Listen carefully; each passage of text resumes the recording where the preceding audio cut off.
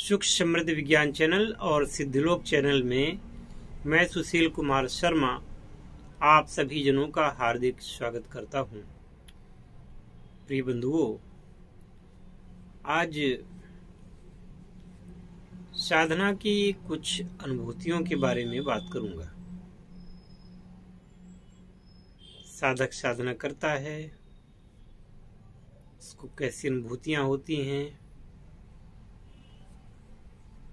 किन लोगों को अनुभूतियाँ होती हैं और किस हद तक अनुभूतियाँ होती हैं, इस संबंध में मैं चर्चा करूँगा।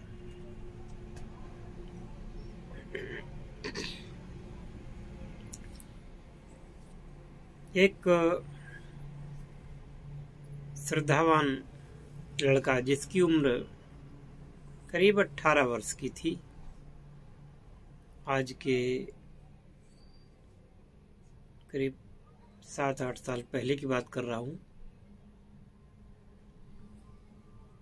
तो उस समय टीवी पर कुछ योग का नया नया प्रचलन शुरू हुआ था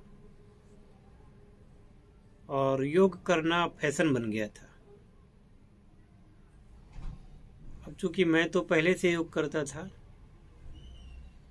लेकिन वो जो लड़का था, उसको भी सब कुछ देख करके कुछ इच्छा हुई और उसने योग के लिए।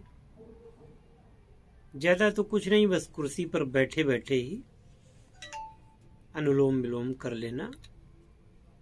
ये उसने सीखा। तो जो बच्चे होते हैं, वो बच्चे ग्रहणशील होते हैं। और इसीलिए पढ़ने, लिखने के लिए, कुछ सीखने के लिए बच्चों को ही लगाया जाता है। हम लोग कह देते हैं कि सीखने की कोई उम्र नहीं होती, और कोई वृद्ध व्यक्ति भी चाहे तो सीख सकता है, सब लोग कह देते हैं।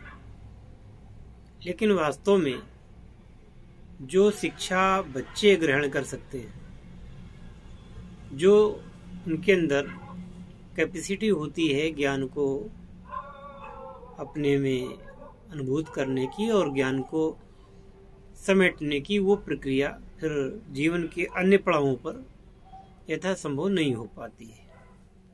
ये एक तथ्य है। तो उस लड़के ने दो चार दस दिन अनुलोम विलोम ही किया और कुछ किया ही नहीं।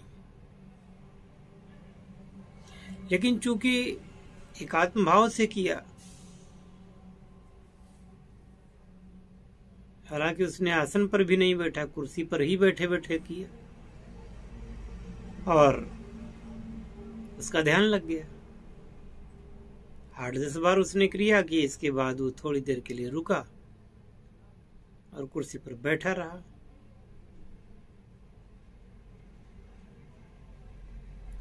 बैठा रहा तो थोड़ी देर में उसको ऐसा एहसास हुआ कि मैं तो छत से टकरा रहा हूँ और छत से मेरा सिर टकरा रहा है और मैं ऊपर खड़ा हूँ और मेरा शरीर कुर्सी पर बैठे योग कर रहा है और बेहोशी की अवस्था में वो अपने आप को देख रहा है कि मैं बैठा हूँ घर के अन्य लोग अपना कार्य कर रहे हैं। सब कुछ वैसा ही, केवल बस इतना था कि मेरा शरीर कुर्सी पर बैठा है और मैं इधर खड़ा हूँ। कुछ एक, लोगों के अनुभव ऐसे भी होते हैं, जैसे कि उन्होंने आकर के बताया कुछ लोगों के ऐसे भी अनुभव होते हैं कि वो ये देखते हैं कि मैं मर चुका हूँ और मेरा शरीर वहाँ पे है ऐसा।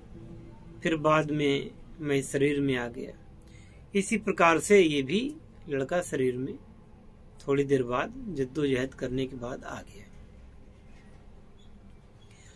इसको ध्यान समाधि ही कहेंगे। और अचानक ज़्यादा प्रयास किए बिना इस प्रकार की समाधि लग जाना अपने आप में ऐसा होता है कि अचानक ही कोई ऐसी क्रिया सिद्ध हो गई, सही हो गई, जिससे उस प्रकार की प्रक्रिया बन गई। बाकी ऐसी जो अनुभूतियाँ होती हैं तो निरंतर योग अभ्यास करने के बाद ही होती हैं। और ऐसी अनुभूतियाँ मुझे भी कई बार ध्यान योग करते करते इस प्रकार की अनुभूतियाँ।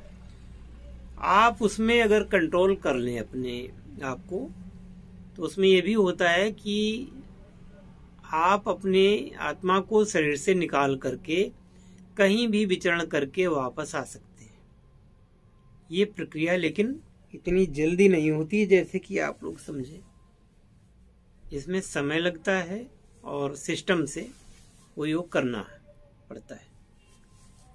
फिर वहाँ जहाँ भी आप जाना चाहें।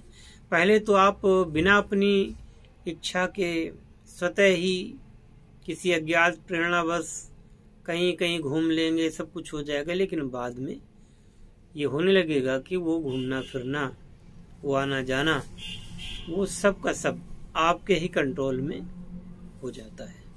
ये निरंतर अभ्यास का परिणाम होता है।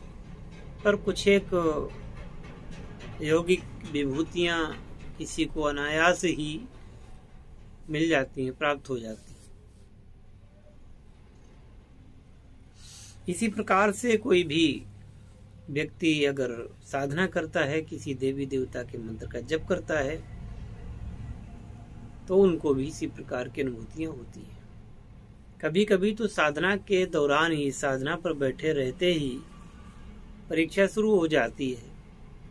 या तो लुभावने दृश्य दिखेंगे कि बहुत ही सुंदर सुंदर जो भी आपको सुंदर लगता है, उस टाइप की सुंदर चीज़ें आपको ध्यान में दिख जाती हैं, जो कि आपके मन को आकृष्ट कर ले। कुछ तो ऐसा होता है, लेकिन कुछ ऐसी बातें भी दिख जाती हैं, जिनसे आपका वास्ता नहीं है या जिन चीज़ों को आप चाहते नहीं। और भयानक तस्वीर। जैसे कि उदाहरण स्वरूप किसी को ये पता चल गया कि चलो, उसको लगा कि कुछ उसके साथ अच्छा हो रहा है। कोई सुंदर स्त्री उसका आलिंगन करने लगी या सुंदर स्त्री उसको दिखने लगी, आसपास आने लगी, बोलने लगी, ऐसा भी लग सकता है। और उसी जगह ये भी दिख सकता है कि मैं जंगल में हूँ। जंगल में किसी भयानक चीते ने आक्रमण कर दिया है। या मैं कहीं फोर्स में हूँ तो लड़ाई हो गई है है ना, दो देशों के बीच में।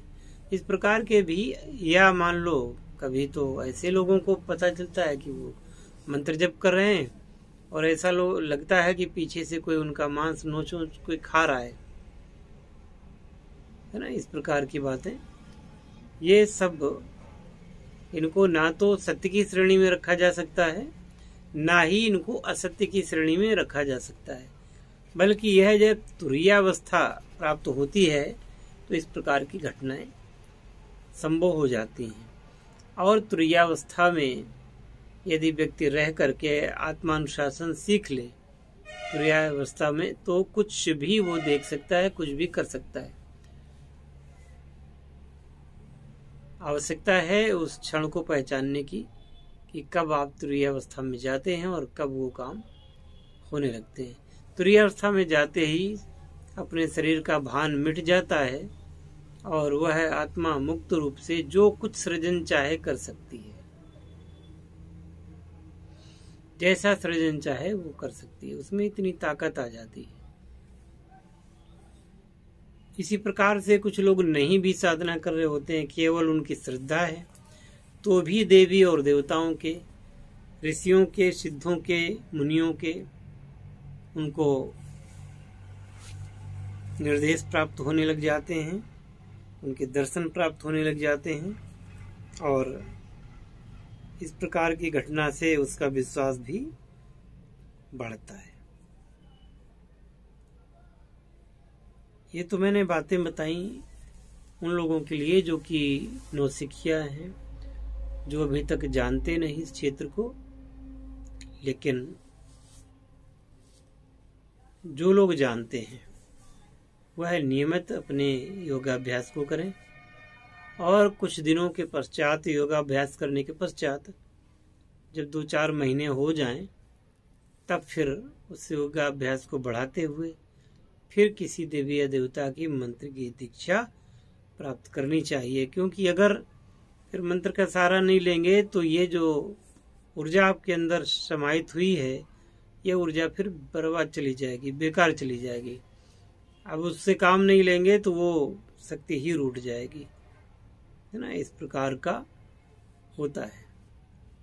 तो मैं समझता हूँ कि आप लोग इस वीडियो में हमारे काफ़ी कुछ योग की विभूतियों के संबंध में जान गए होंगे।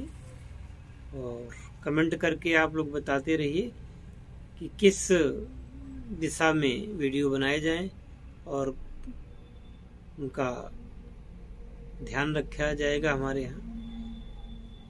यदि आप कोई डिमांड करते हैं, यदि संभव हो सके तो उसको पूर्ण कर दिया जाएगा।